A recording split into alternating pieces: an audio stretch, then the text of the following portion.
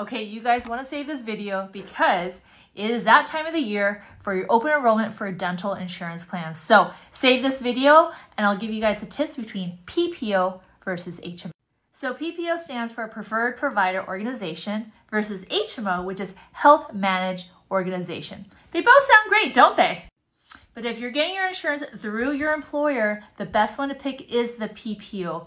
One is because your employer is probably gonna actually prorate the cost of it, which is worth it. And there's usually no waiting periods. You get better benefits, especially on major work. When I say major work, crowns, fillings, um, bridges, root canals, extractions for wisdom teeth.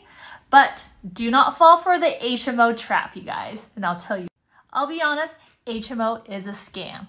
You're actually forced to pick a dentist off the list which you have never met or any of your friends and family have heard, and you're basically inclined to go see them. Now, if you don't like Dr. Joe Schmo, you actually have to wait for six to eight weeks to be transferred to another dentist who accepts HMO.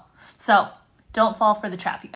And when I say HMO is a scam, they will only cover basically the basic work, but they're not going to cover for major work such as crowns, white fillings, root canals, wisdom teeth extractions, even ortho. So the doctors, dentists, as you can say, they are going to charge you for an upgrade or pretty much charge you for the full fee. So don't fall for the trap of the HMO, you guys.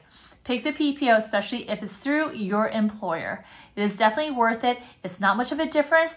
Trust me, you'll be so much happier when the new year comes and you realize you broke a tooth and you got PPO. It's definitely going to help with a lot of the coverage fees, you guys. So I made the list for you guys to see. Save this video, share this with your friends and family because like I said, PPO is the better to pick over the HMO, especially if it's through your employer.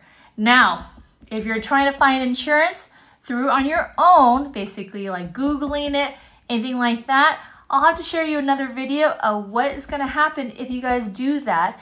But getting through the insurance to employer, pick the PPO versus the HMO. That's my rosy tip for the day, you guys. And I hope that helps, and I'll see you guys next time.